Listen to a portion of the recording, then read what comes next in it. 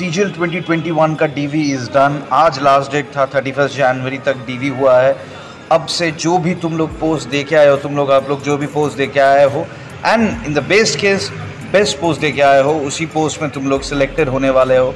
DV के time बहुत ज़्यादा इंपॉर्टेंट क्वेरी ये रहता है कि मैं सर सी अकाउंटेंट दिया हूँ फ़र्स्ट पोस्ट लेकिन मेरा होम में पोस्टिंग वैकेंसीज नहीं है तो मुझे क्या वही पोस्ट में बाहर जाना पड़ेगा? ये I can go for the next post तो इस पोस्ट इस रिगार्डिंग में बता देना चाहता हूँ, जो भी पोस्ट के लिए तुम सिलेक्टेड होने वाले हो, या फ़र्स्ट पोस्ट या सेकंड पोस्ट अगर उस पोस्ट का कट ऑफ़ तुम क्लियर करते हो तो उसी पोस्ट में तुम्हारा सिलेक्शन होगा irrespective of the vacancies in your home state और नॉट तो आई होप कि बहुत रिसर्च करके आप लोग पोस्ट प्रेफरेंस फॉर्म भरे हुए हो। For if you have filled up 2800 grade proposers first post preference जहाँ पे वैकेंसी है, वहीं पे जाना पड़ेगा।